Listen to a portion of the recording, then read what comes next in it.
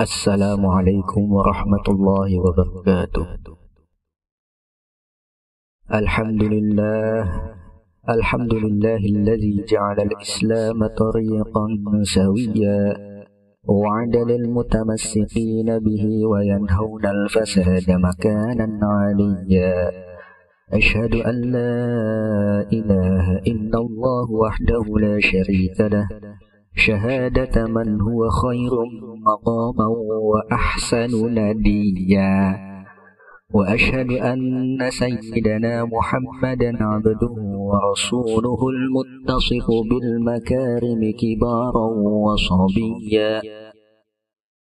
اللهم فصل وسلم على سيدنا محمد. كان صادق الوعد وكان رسولا نبيا.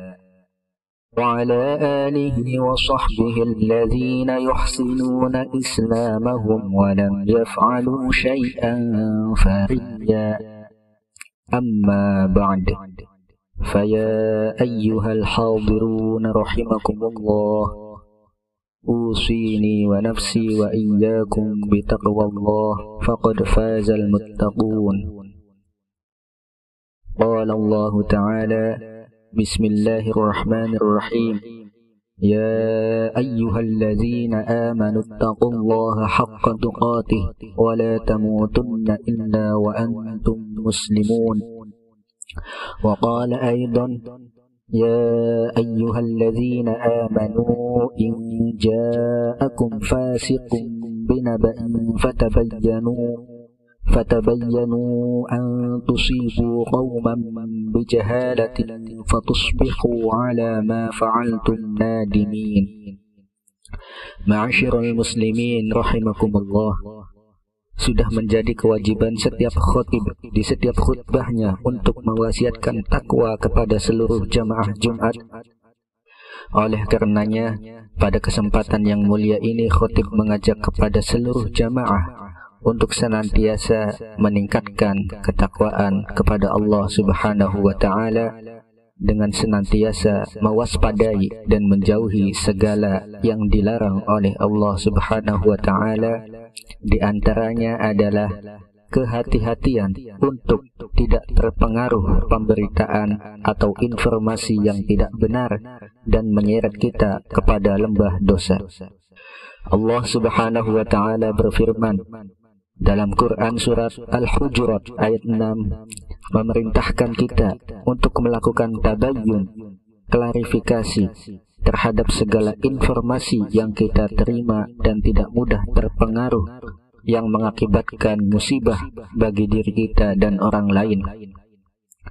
Ya ayyuhalladzina amanu إن جاءكم فاسق بنبأ فتبينوا فتبينوا أن تصيبوا قوما بجهالة فتصبحوا على ما فعلتم نادمين. Hai orang-orang yang beriman, jika datang kepadamu orang fasik membawa suatu berita, maka periksalah dengan teliti, agar kamu tidak menimpakan suatu musibah kepada suatu kaum tanpa mengetahui keadaannya yang menyebabkan kamu menyesal atas perbuatanmu itu. Ma'asyiral muslimin rahimakumullah. Ada kalimat bijak yang mengatakan bahwa dulu Orang yang berpengetahuan adalah orang yang memiliki banyak informasi. Tapi sekarang, orang yang berpengetahuan adalah orang yang mampu menyaring banyak informasi. Jika kita renungkan, Kalimat ini sangat relevan sekali dengan kondisi di zaman teknologi dan informasi saat ini di mana arus informasi mengalir sangat deras silih berganti.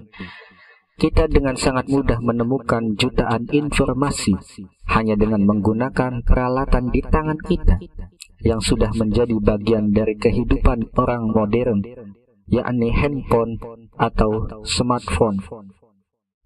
Ditambah lagi dengan kehadiran media sosial seperti Facebook, Instagram, Twitter, WhatsApp, dan sejenisnya. Dunia seakan-akan sudah berada dalam genggaman kita. Apa yang sedang terjadi di berbagai belahan dunia dan isu apa yang sedang hangat dibicarakan dengan mudah kita ketahui.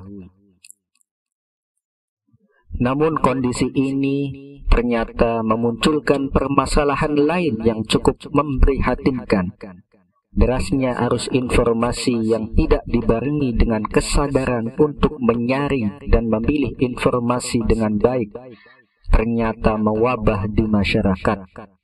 Ditambah lagi budaya tabayun sudah mulai hilang dan membuat masyarakat gampang terpapar berita bohong atau hoax Berita bohong saat ini juga tidak hanya menyasar kepada masyarakat berpendidikan menengah ke bawah. Masyarakat dengan pendidikan tinggi, termasuk para tokoh dan publik figur, juga ikut dalam pusaran arus berita bohong yang diproduksi oleh pihak-pihak tertentu serta untuk kepentingan tertentu. Kurangnya kehati-hatian mengakibatkan berita bohong dengan cepat tersebar dan mengakibatkan rusaknya tatanan dalam masyarakat. Ma'asyiral muslimin rahimakumullah, perlu kita sadari saat ini siapa saja bisa membuat dan menyebarkan berita melalui media sosial. Padahal saat ini media sosial sudah menjadi pilihan utama masyarakat dalam berkomunikasi dan mencari informasi. Dalam kurun waktu setahun belakangan ini pula Indonesia dihadapkan dengan menjamurnya berita hoax di media sosial. Ini merupakan upaya sistematis yang dimanfaatkan oleh oknum yang tidak bertanggung jawab untuk kepentingan pribadi atau kelompok. Oleh karenanya, kita harus ekstra hati-hati, tidak gegabah, tidak kagetan, dan tidak tergesa-gesa dalam menerima sebuah berita. Kita harus objektif dan menggunakan hati nurani kita dalam memahami berita. Jangan sampai informasi salah yang datang dari orang yang kita senangi selalu kita benarkan. Sedangkan informasi benar dari orang yang kita tidak senangi selalu kita salahkan. Sudah saatnya kita kembali berpatokan pada Quran Surat Al-Hujurat ayat 6 ini yang menunjukkan dengan jelas tentang haramnya mengambil berita dari orang fasik tanpa melakukan klarifikasi atau tabayyun kebenarannya karena akan membahayakan bagi diri kita dan orang lain. Kita harus mengambil berita dari orang yang terpercaya di media sosial, bukan dari orang fasik, yakni orang yang keluar dari ketentuan akal sehat, adab sopan santun, dan agama, serta orang yang belum kita kenali kredibilitasnya sebagai orang jujur apalagi terkait dengan persoalan agama, kita harus belajar dari ulama-ulama yang sudah jelas kealiman dan silsilah keilmuannya. Hindari belajar agama melalui media sosial dari orang yang tidak paham agama, walaupun sering tampil di media sosial. Jangan sampai kita tersesat karena mengikuti video ceramah di YouTube dari orang yang hanya pintar berbicara dan mengaku ustaz namun tidak memiliki kemampuan agama yang cukup dan ucapan serta tingkah lakunya pun tidak menunjukkan akhlakul karimah. Ma'asyiral muslimin rahimakumullah. Allah Subhanahu wa taala berfirman dalam Quran surat Al-Ahzab ayat 70 dan 71 يا أيها الذين آمنوا اتقوا الله وقولوا قولا سديدا يصلح لكم أعمالكم ويغفر لكم ذنوبكم ومن يطع الله ورسوله فقد فاز فوزا عظيما Hai orang-orang yang beriman Bertakwalah kamu kepada Allah dan katakanlah perkataan yang benar. Niscaya Allah memperbaiki bagimu amalan-amalanmu dan mengampuni bagimu dosa-dosamu. Dan barang siapa menaati Allah dan Rasulnya, maka sesungguhnya ia telah mendapat kemenangan yang besar. Ayat ini memberi pesan kepada kita bahwa segala kebenaran dalam sikap dan tutur kata akan lebih dekat kepada ketakwaan. Ketakwaan menjadi dasar kebenaran dalam berucap dan bertutur kata. Ucapan dan tutur kata yang benar akan menjadi salah satu sebab kebaikan tindakan.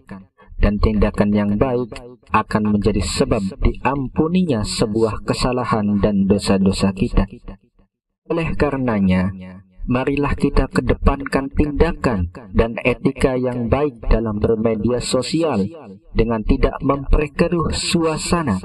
Semisal melalui komentar-komentar yang kita tidak tahu duduk permasalahannya. Kegaduhan yang ada di media sosial diakibatkan salah satunya adalah karena orang yang tidak tahu ikut berkomentar karena merasa tahu. Terlebih terkait masalah agama dan politik, banyak orang yang tiba-tiba anti kritik dan merasa pilihannya yang paling benar, sehingga tak jarang masyarakat saling menghina, mengumpat, dan gontok-gontokan di dunia maya untuk kepentingan sementara dan mengorbankan ukhuwah yang harusnya dipertahankan sepanjang masa. Menyikapi kondisi memprihatinkan ini, Majelis Ulama Indonesia telah memberikan rambu-rambu agar umat Islam tidak terjerumus ke dalam arus berita bohong di media sosial. Hal ini termuat dalam Fatwa MUI nomor 24 tahun 2017 tentang hukum dan pedoman bermuamalah melalui media sosial yang di dalamnya menegaskan fatwa tentang haramnya menyebar berita hoax. Dalam fatwa ini dinyatakan bahwa memproduksi, menyebar, dan atau membuat informasi tentang hoax, riba, fitnah, namimah, ujaran kebencian, dan hal-hal lain sejenis, hukumnya haram. Oleh karenanya, Jamaah rahimakumullah, marilah kita lebih selektif lagi dalam menerima berita atau konten di media sosial. Hendaknya kita tidak langsung mempercayai dan membagi-bagikan berita yang belum jelas kebenarannya. Saring sebelum sharing, posting hal-hal penting, jangan yang penting posting. Teliti dan pahami terlebih dahulu, karena jika kita tidak berhati-hati, bisa jadi kita akan menjadi orang yang berdosa dengan menjadi penyebar dosa. Cerdaslah dalam bermedia sosial dan semoga Allah Ta'ala senantiasa membimbing kita ke jalan yang diridhoinya. Amin. Barakallahu li walakum fil Qur'anil azim. وجعلني وإياكم بما فيه من الآيات والذكر الحكيم. إنه هو البر التواب الرؤوف الرحيم. وقل رب اغفر وارحم وأنت أرحم الراحمين.